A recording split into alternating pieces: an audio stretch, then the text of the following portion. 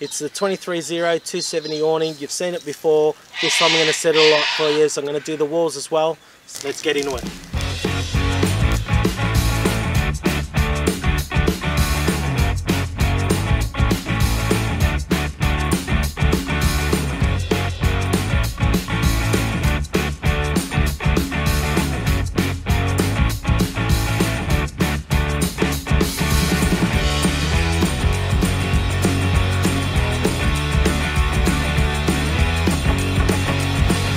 Go, that's the awning set up. Uh, next we're going to set up the uh, walls.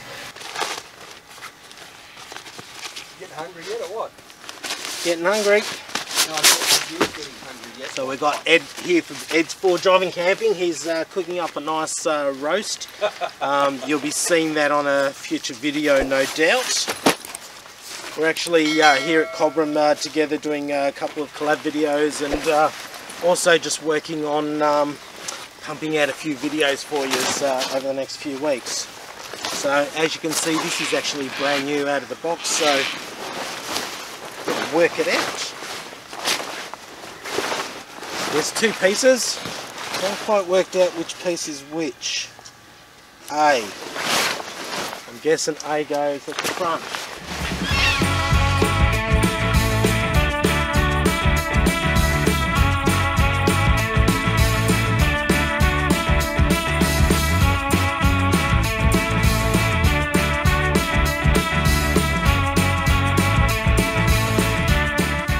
Okay, so we set all that up. I'm going to take the um, camera off now and give you a bit of a closer look. But uh, before I do that, I just want to talk a little bit about the quality of it. I think overall the uh, canvas feels pretty good. Um, it's a really good uh, material. The uh, walls feel pretty uh, sturdy. The zips, heavy duty. I'm pretty impressed actually with the pegs because uh, surprisingly they actually give you some decent pegs because often you buy most tents and all that and you often have to replace the um, pegs, but uh, I don't think that's going to happen in this case. I think they're actually uh, decent pegs, and the uh, guy ropes are actually pretty good. Now, keep in mind that I haven't actually um, pegged this down. Uh, I've just done a bit of a rough job because uh, I will unpack it. It's 37 degrees today, so uh, the walls are not going to be needed. I'll give you a bit of a run through with the walls, and then I'll take the walls off and give a bit of a run through with just the awning as well. Okay, so I just want to give you a bit of a closer look um, of the awning. Like I said, I have done it a little bit uh, rough, but uh, there's plenty of tie down, good uh, tie down points. So you can see one there. They've actually got them at the top. That's for uh, rolling up the awning. There's actually a um, tie down points in the middle uh, between the uh, poles, and that's obviously to guide the rain away from the um, inner. But yeah, look, overall it's a pretty uh, solid uh, awning and uh, it, it actually feels quite good to hold and it's quite dark in there, but I'll give you a, a better look inside. So hopefully you can see that. It's uh, actually plenty of space inside. It's actually pretty roomy. So um, I've actually got this set up uh, a little bit low just because of the setup of my um, trailer, but uh, yeah, look, lots of space in, in there. But let's take the walls off and have a better look at the awning. Okay, so here we go, the uh, Falcon 270 awning from 23Zero all set up and ready to go. So um, let's have a bit of a closer look. And uh, overall, I'm pretty happy with this. It's a, a, good little unit. It packs away quite nicely. It's about, uh, I think it's 18 or 19 kilos packed away. Um, perfect for my camper trailer. Would uh, suit a car quite nicely as well because it's not too long.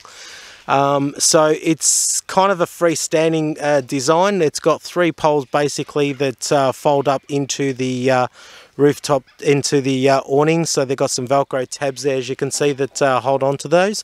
And then there's another three poles that actually sit inside the awning when it's packed away. And um, you don't have to necessarily use them all, but uh, I have in this case, and I've only got three um, tie down points though. But as you can see there's plenty of tie down points. So if the weather does pick up and you want to get a bit of uh, rain you know you want to get the rain draining off it's a pretty good design. Um, the material is uh, quite a heavy duty and feels really nice actually. Um, being darker too gives you um, you know good protection especially with the walls. It makes it quite dark as well. So uh, it's quite nice. The structure of it uh, pretty solid um, you know and uh, you can see the uh, thickness of the uh, aluminium um, frames up there. It's uh, pretty good. So you got another one up here as well. So this actually as you can see folds out. So call it a 270 but I think it's actually probably more than that. But uh, yeah on the camper trailer it actually folds out quite nicely. And uh, there's a little flap up here that uh, sits between, if you like, the car and the uh, awning, so um, stop the rain running down the side of the car. And uh, that can actually be taken out and put uh, at either end, so um, that just slides out. So overall, it's a pretty good setup. I just want to give you a quick look now at the uh, Ed from Ed's four-wheel drive camping over there, and his uh, what do you call it, Ed? The Foxwing. Yeah, we call it a fox wing. Foxwing, and um, yeah, like that's uh, a little bit more involved in setting it up. Doesn't quite sit as nice. Uh, Ed's quite impressed with the uh, 23 awning, so uh, thinking about uh, upgrading. The Darche is actually a very similar unit, and uh, we've actually got a friend who uh, dirt 4x4 um, who is started selling the Darchies, so might be able to talk to him and get a good deal. So there you go, guys. If you um, interested in the Falcon 270 awning uh, from 23Zero. It's a great little unit and uh, I'm pretty impressed with it. Uh, that's it. Thanks for watching. Uh, if you like all this, please subscribe, hit that bell, do all that stuff, and uh, we'll see you next week. Thanks, guys.